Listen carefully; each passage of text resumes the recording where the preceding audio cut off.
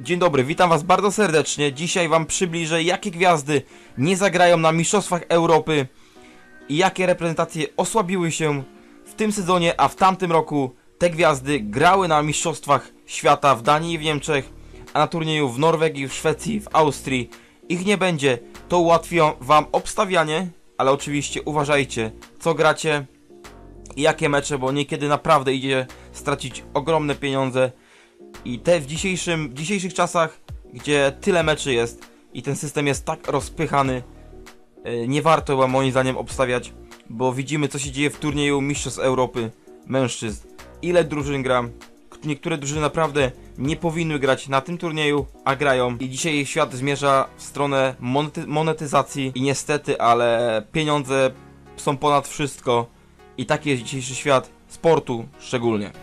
Ale zaczniemy od polskiej drużyny. Polska drużyna gra na Mistrzostwach Europy, Polska gra w ostatniej grupie, ma Słowenię, Szwecję, Szwajcarię. Oczywiście nie neguję Polaków, mówię tak jak jest, Polska nie wygra żadnego meczu, ponieważ jest słaba, ponieważ ci chłopcy nie, ma, nie mieli okazji grać na wielkim turnieju, ci chłopcy nie mieli okazji się pokazać, ci chłopcy mają ogromną presję na sobie. I ja uważam, że Polska idzie w złym kierunku, polski handbal nie istnieje na dzień dzisiejszy, i polska piłka ręczna może się cieszyć, że dzięki temu systemowi gra na wielkim turnieju, bo tak by nie grała. Naprawdę tak by nie grała, bo Polska nie pokazuje nic ciekawego w handbalu, co mogłoby zaciekawić kibiców. Oczywiście TVP Sport nie pokaże Mistrzostw Europy, chodzi o finanse, ale pokaże mecze Polaków i pokaże półfinał i finał, gdzie naprawdę półfinał i finał będzie, będą, będą największe emocje jakie możesz zobaczyć w telewizji, ale uważam, że ten turniej Mistrzostw Europy jest bardzo ważny, bo dzięki temu turniejowi możesz zakwalifikować się do Igrzysk Olimpijskich i możesz dzięki temu turniejowi trafić do jakiegoś koszyka turnieju e, kwalifikacyjnego do Igrzysk Olimpijskich, więc ten turniej w Szwecji, Norwegii i Austrii jest bardzo ważny. Ale przechodzę do puenty tego filmu. Zacznę od Francuzów. Francja mega się osłabiła na tym turnieju nie zobaczymy Kentemane, który ma kontuzję, rozgrywający Weszprem, nabawił się kontuzji. Nie zobaczymy Timote Engesana, rozgrywającego w Barcelonie, nie zagra na tym turnieju.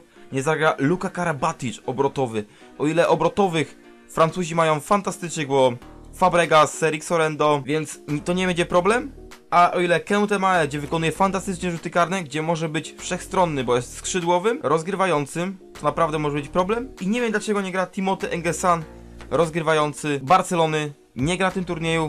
Franc Francja się osłabiła, ale pomimo tych osłabień i tak ma bardzo mocny skład. I według mnie Francja może być głównym faworytem do wygrania turnieju, ale pamiętajmy, że Francuzi przez dwa lata nie wygrali nic i teraz będą napaleni na sukces, jak to Francuzi. Niemcy, gospodarze poprzednich mistrzostw świata, mega, mega zmieniony skład. Dla przypomnienia, Niemcy zajęli czwarte miejsce na tamtych mistrzostwach świata i grali fantastycznym składem. Grali u siebie i grali z tym fantastycznym Patrykiem Greckim. Jego tu zabraknie skrzydłowych. Patryk Grecki i Matas Mysze, e, skrzydłowy Magdeburga, nie zagra na tym turnieju. Pamiętajmy, że Mysze właśnie spartolił rzut karny. Dzięki temu Francuzi zdobyli brązowy medal, ale do tego nie zagra Silio Hanerwetter, Heinewetter, kontuzja, bramkarz Füsse Berlin, nie zagra Fabian Wide, kontuzja, też rozgrywający. E, Fischer Berlin, Finn Lemke, Stefan Weinhold i Stefan Fat. To jest dużo osłabienie Niemców. Naprawdę, Niemcy są mega osłabieni. Mega. Niemcy mają w grupie Hiszpanów, ale nie o to chodzi, bo chodzi, że są tak osłabieni, że według mnie Niemcy nie będą się liczyli liczyły w fazie zasadniczej i nie awansują do półfinałów. Serbia. Serbia ma swoje problemy bo nie zagra Peter Nadic i Serbowie są według mnie bardzo słabieni, do tego nie zagra Dejan Milosaview, bramkarz Fischer Berlin, e, kontuzja bramkarza, ale mają oczywiście Cuparę, więc to nie jest taka strata. Nie zagra Nemanja Obradowicz i nie zagra Drasko Nenadic, rozgrywający, nie wiem jaki jest powód, po prostu Serbowie według mnie mają problem z znalezieniem poziomu na piłce ręcznej i ci zawodnicy nie zagrają i Serbia według mnie nawet nie wyjdzie z grupy z grupy A. Hiszpania. Hiszpania gra takim samym składem. Do tego dochodzi Jorge Makeda. Jorge Makeda. Dlatego uważam, że Hiszpania może zdobyć Mistrzostwo Europy. tak jak zdobyła dwa lata temu. Ja uważam, że Hiszpania to jest właśnie taki nieprzewid- nieprzewidywalny zespół. Może wygrać i przegrać dużo. Ale na tym turnieju Hiszpania może zyskać bardzo dużo i według mnie może awansować nawet do finału Mistrzostw Europy, bo tak jak mówię, gra takim samym składem, dochodzi Jorge Maheda, który jest genialnym rozgrywającym i bardzo mocny skład Hiszpanów. Macedonia bez zmian, Kili Razarow, Dejan Manaskow, Borkoristowski, Naucze Mojsowski i ci inni wybitni rozgrywający skrzydłowi zagrają na tym turnieju. Według mnie to może być ostatni, e, ostatni turniej Kilira Lazarowa. Pamiętajmy, że Macedończycy mają bardzo łatwą grupę. Jeżeli wyjdą z grupy z kompletem punktów, mogą namieszać, a pamiętamy jak to jest ważne, aby dostać się na turniej kwalifikacyjny i według mnie to może być ostatni turniej Kili Lazarowa. Pamiętajmy, wielki Macedończyk, 41 lat bodajże. Wielka postać piłki ręcznej i oglądajmy się, oglądajmy na niego, bo możemy go zobaczyć ostatni raz na tak wielkim. Chorwaci osłabieni brakiem Filip Iwicz, bramkarz, Iwan Stefanowicz, oczywiście to nie jest osłabienie, bo ci dwaj gracze są bez formy. Stefanowicz gra w Wiśle Płock, a Iwicz gra w Lipsku, w niemieckiej bun Bundeslidze i nie pokazuje nic, ale największe osłabienie to jest Manuel Streck, który nie zagra na tym turnieju. Powody osobiste. On jest zmęczony już całym tym turniejem poprzednim Mistrzostwa Świata. Gra w Eszprem, gra w Lidze Seat, gra w Lidze Węgierskiej, Liga Mistrzów. Naprawdę jest tych mnóstwo tych turniejów i Manuel Streck potrafił, mm, potrafił odmówić kadrze.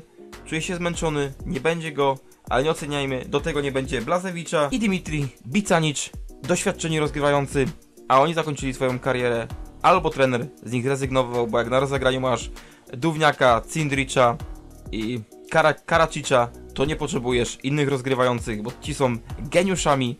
Chorwację też nie stawiam wysoko, ponieważ nie mają skrzydeł nie, i nie mają mega dobrych obrotowych. Mają tylko rozgrywających, ale nie wiem czy ci rozgrywający są w stanie udźwignąć cały turniej. Norwegia, gospodarz tego turnieju, przed, przed turniejem dwa tygodnie był dla mnie faworytem do wygrania Mistrzostw Europy, bo Norwegowie, Norwegowie na to zasługują. 3, 4 lata chyba, od kiedy weszli na najwyższy poziom, zawsze są w półfinale i zawsze liczą się o najwyższe cele, ale przed, kon, przed turniejem doszła smutna wiadomość.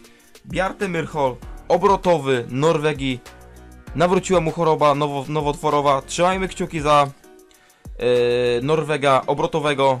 Mam nadzieję, że wróci do zdrowia. Do tego nie zagra Espeli Hansen, rozgrywający i Kentem Robin Tonesen. To jest duża strata, kontuzja przed turniejem. On też nie grał rok temu na mistrzostwach, na mistrzostwach świata, ale według mnie Robin Tonesen to jest, kom, to jest bardzo duża strata e, dla Norwegów i Norwegię uważam, że wejdą do półfinału, ale tego turnieju nie wygrają, bo nie mają równego składu. Duńczycy, mistrzowie świata z, poprzedniego, z poprzedniej edycji, praktycznie grają takim samym składem. Nie zagra tylko Kasper Mortensen po przejściu do Barcelony. Ten skrzydłowy stracił na wartości. Nie rzuca już tyle bramek, nie ma takiej jakości. Jak grał w y, Hanowerze, był geniuszem. Jeżeli przeszedł do Barcelony, stracił miejsce w składzie w Barcelonie i przestał grać. Przez to nie ma go, nie ma Simon Halt, obrotowy. Hendrik Toff Hansen to jest bardzo duża strata, gracz PSG, nie zagra na tym turnieju. To jest największa strata Duńczyków. Hendrik Toff Hansen, bo ciężko zastąpić tak genialnego obrotowego. Wreć Szwecja, gospodarze tego turnieju. Nie zagra Hampus Vane, kontuzja, koszmarna kontuzja Hampusa Vane. Matias Zachariansen, kolejny skrzydłowy i w Szwed- Szwedzi są mega osłabieni. Nie zagrają dwóch podstawowych skrzydłowych, ale Szwecja grała u siebie i uważam, że Szwecja może zostać mistrzem Europy, ponieważ grała u siebie i ponieważ ma fantastycznych rozgrywających, fantastycznych obrotowych, fantastycznych bramkarzy, pomimo strat e, tych, tych skrzydłowych i tak uważam, że Szwecja zdobędzie mistrzostwo Europy albo Dania, ale według mnie będą derby Skandynawii, Dania, Szwecja finał. Mam nadzieję, że to się spełni i mam nadzieję, że taki finał zobaczymy na tym turnieju. Rosjanie grają takim samym składem, do tego chodzi- dochodzi Garbok i Atman, ale Rosjanie na tym turnieju nie zaistnieją, bo po pierwsze nie mają równego składu i nawet ten fantastyczny skrzydłowy, zapomniałem nazwiska, przepraszam, ale wiemy o kogo chodzi, ten fantastyczny skrzydłowy, który gra w Wardarze Skopie, może odmienić losy, ale to nie da zwycięstwa i nie wiem czy da awans grupy, Raczej nie, ale mają w fazie grupowej Węgrów, którzy są bardzo słabi. I według mnie e, Duńczycy i Islandczycy awansują, ale Rosjanie mogą się postawić e, Węgrom, bo Węgrzy oczywiście nie gra Matelekaj, kontuzja przed, kontuzja przed wielkim turniejem, to jest największe osłabienie. Węgier. Matelekaj to był lider, przywódca, a tego przywódcy e, zabraknie, zabraknie Timoka Szuca, obrotowego, Gabor Ancin, rozegranie i Gabor Czaszar, rozegranie. Więc y, uważam, że Węg- Węgrzy nie wygrają żadnego meczu na tym turnieju i Islandczycy grają takim samym składem. Do tego dochodzi Alex Peterson po to, aby wzmocnić siłę ataku i po to, aby dostać się na kwalifikacje do Igrzysk Olimpijskich. Dziękuję za oglądanie tego filmu.